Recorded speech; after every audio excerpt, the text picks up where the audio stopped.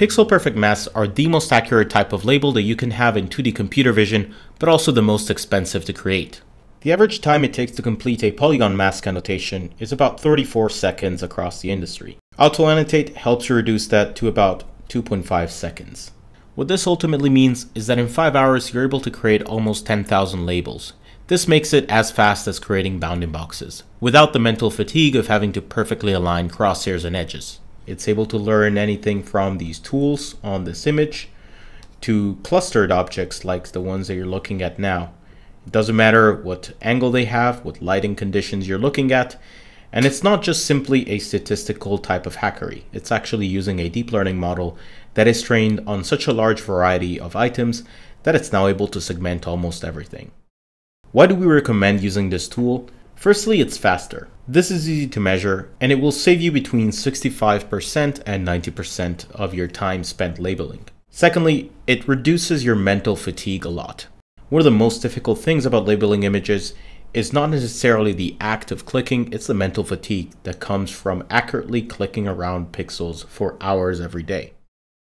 Finally, it's pixel perfect. Humans aren't that good at following pixel gradients exactly. It's a tedious job and it's one best left to machines. What auto-annotate helps you do is simply define a rough bounding box around each object. You don't really have to align the crosshairs exactly to the corners. You can simply create a very broad region of interest and then it will understand the most salient object within that boundary. If you zoom into one of those output masks, you notice that the border is exactly mid-gradient. This gives the best result when training an object, and AutoAnnotate helps you do this effortlessly rather than having to manually move the borders of each mask. Even if objects overlap, such as these x-rays, it's still able to understand what object you intended to focus on.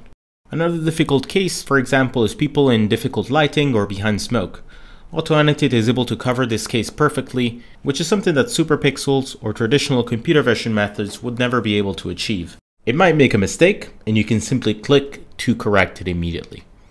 If you want an object to be expanded beyond what it seems to be the most reasonable item within that region, keep clicking outside of the object, and AutoAnnotate will rerun the same model to include those new parts. It's meant to work hand in hand with you as you label these images or have them labeled by your workforce of choice. If you're labeling images yourself, this is both a great time saver and a sanity saver. And if you have a workforce currently labeling images, it's hopefully a huge money saver as well. AutoAnnotate is available within any image domain, including medical and pathology images, any image resolution, file type, or size, including video frames. We are also able to fine tune it to specific datasets once you have some training data should your objects be particularly strange to the point where AutoAnnotate doesn't fit to them perfectly on the first go. AutoAnnotate currently covers the vast majority of pixel masks done on V7 Darwin, and we hope you'll get a chance to try it out as well and complete your datasets 90% faster and more accurately.